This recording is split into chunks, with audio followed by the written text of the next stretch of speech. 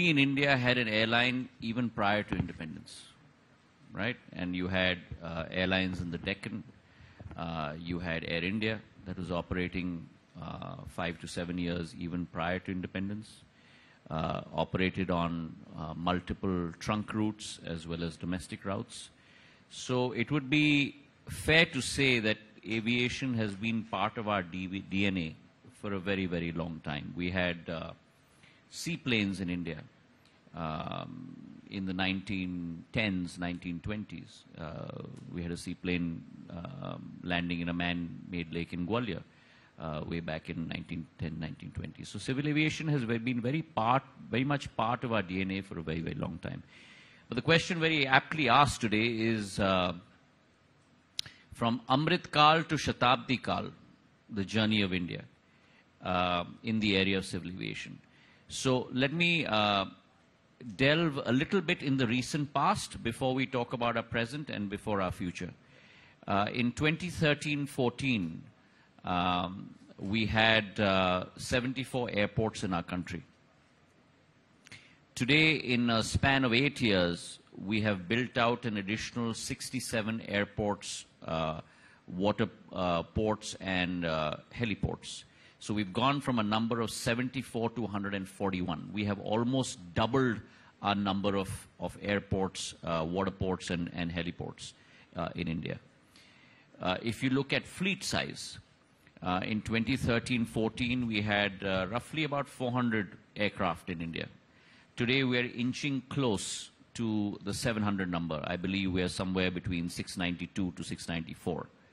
Uh, we're going to add capacity at the rate of close to 15% per annum, uh, which means uh, you're soon going to see a fleet in India close to 1,200 to 1,500 planes. Uh, capacity expansion as far as airports are concerned, in the next five years, we are looking at a capex plan of close to uh, 97,000 crores, uh, purely on airports. Uh, that covers the state-owned uh, Airports Authority of India, uh, which has a very aggressive brownfield as well as greenfield program. close to about 42 airports on the brownfield side are being upgraded, new terminals, uh, capex of almost close to about 30,000 crores odd.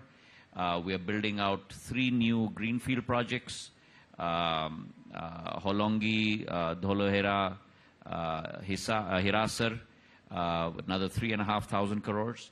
And equivalently on the private sector side, uh, Brownfield, again, expanding seven new, uh, seven uh, current airports, uh, close to about 34,000 crores, and building out an additional four new greenfield projects close to about 31,000 crores. So that is the thrust. Now, why is that happening is going to be Siddharth's next question. And the reason why that's happening is really simple. You have a country of uh, 1.3 billion people. Uh, but pre-pandemic, uh, we had only 144 million flyers in India.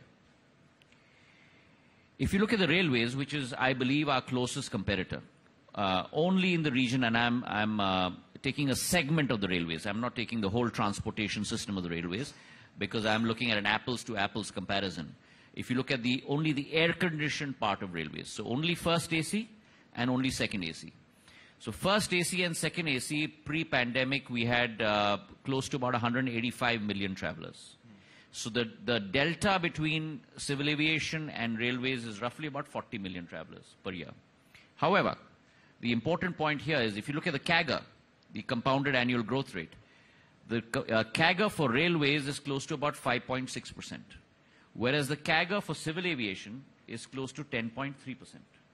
So therefore, it's my prediction that in the years to come, uh, it may take us uh, uh, another five years, seven years, but in the years to come, you're actually going to look at the number of travelers in civil aviation becoming pretty much the bulwark of air-conditioned travel in India as a means of transportation. Uh, Pre-pandemic, we had, as I mentioned, 144 million uh, domestic travelers and 60 million international travelers. What's my forecast? My forecast is in the next five to seven years, that number of 200 million is going to grow to 400 million travelers. Uh, that's the kind of delta in growth that you're going to see in the civil aviation business. And what I mean by last mile connectivity, and I'm going to take you back to the first comment that you made while we started this interaction, is that yes, look at I to D, look at metro to metro, but also look at metro to two, two, two tier and three tier, and finally look at two, three, two tier to three tier to last mile connectivity. And therefore the thrust has to also be on regional connectivity, which is why in the last year, you've seen that under Udan, we have brought in a new scheme, which is the small aircraft scheme. India has to also look at the last mile connectivity in terms of sub 20 seater aircraft.